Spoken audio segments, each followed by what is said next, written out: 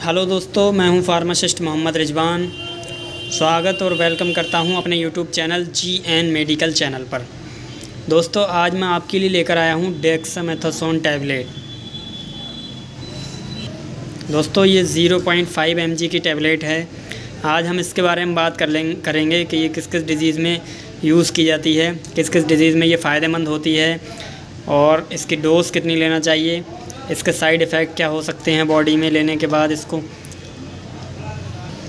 यानी क्या क्या नुकसान दे सकती है ये बॉडी में? तो दोस्तों, इस सब के बारे में बात करने से पहले मेरी आपसे दरख्वास्त है कि चैनल को सब्सक्राइब करें और वीडियो को शेयर करें अपने दोस्तों में और कमेंट्स करके ज़रूर बताया करें दोस्तों कि वीडियो कैसी लगी।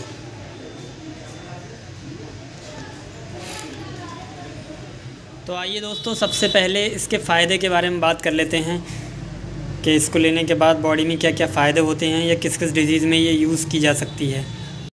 दोस्तों डेक्सामेथासोन सबसे ज़्यादा एलर्जिक रिएक्शन में यूज़ की जाती है।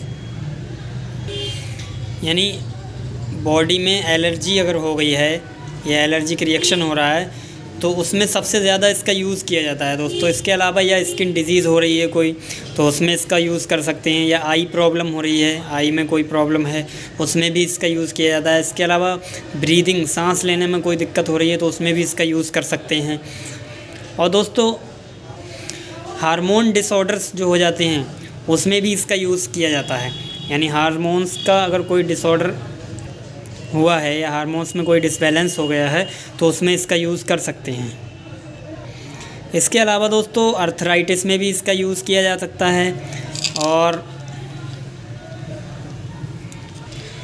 इम्यून सिस्टम में अगर कोई डिसऑर्डर हुआ हो, उसमें इसका यूज़ किया जा सकता है। इम्यूनिटी कमज़ोर हुई हो या इम्यून सिस्टम में कोई डिसऑर्डर हुआ हो तो उसमें भी इसका उपयोग कर सकते हैं।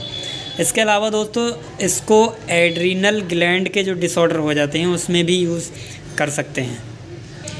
तो दोस्तों, इसके कई सारी डिज़ीज़ों में यूज़ हैं।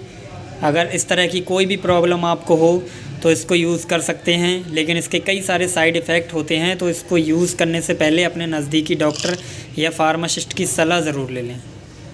दोस्तों इसके अलावा डेक्सामेथोसोन एक स्टेरॉयडल ड्रग भी है जो कि इन्फ्लामेशन में यूज़ की जाती है। बॉडी में किसी भी तरह का अगर इन्फ्लामेशन हुआ हो तो उसमें भी इसका यूज़ कर सकते हैं। या फिर ऐसे सब्सटेंस जो दोस्तों बॉडी में इन्फ्लामेशन कॉज करते हैं या बॉडी में रिलीज़ हो रहे हैं अंदर ही अंदर जो इन्फ्लामेशन को कॉज करते हैं इन्फ्लामेशन फैलाते हैं तो उनको ठीक करने में या उनको प्रिवेंट करने में भी इसका यूज़ किया जा सकता है। दोस्तों अब इसके डोज़ के बारे में बात कर लेते हैं। दोस्तों, ये 0.5 पॉइंट की टैबलेट है। इसकी एक एक टैबलेट सुबह और शाम खाने के बाद ले सकते हैं।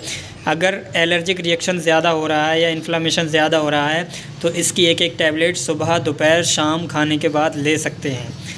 या फिर इसको लेने से पहले अपने नज़दीकी डॉक्टर की सलाह ले लें। तब इसका यूज़ करें। आइए दोस्तों, अब इसके साइड इफ़ेक्ट के बारे में बात कर लेते हैं। इसके डोज़ के बारे में बात हो गई, इसके फ़ायदे के बारे में बात हो गई। अब इसके साइड इफ़ेक्ट के बारे में बात कर लेते हैं कि इसको लेने के बाद बॉडी में क्या क्या साइड इफ़ेक्ट दिखाई दे सकते हैं। दोस्तों, इसको लेने के बाद नोज़िया हो सकता है वॉमिटिंग भी हो सकती है, उल्टी आ सकती है। और इसके अलावा स्टोमक अपसेट रह सकता है, इसको लेने के बाद स्वेलिंग भी हो सकती है। हेडक भी हो सकता है, दोस्तों, इसको लेने के बाद डिजीनेस हो सकता है और मूड चेंज भी हो सकता है आपका। इसके अलावा दोस्तों बीपी इंक्रीज़ भी हो सकता है ब्लड प्रेशर बढ़ भी सकता है तो हार्ट वाले पेशेंट इसका बिल्कुल भी यूज़ ना करें और शुगर वाले पेशेंट भी इसका बिल्कुल यूज़ ना करें या करें तो अपने डॉक्टर की सलाह लें पहले, तब इसका यूज़ करें।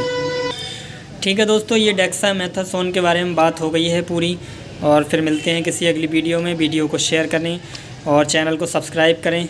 शुक्रिया।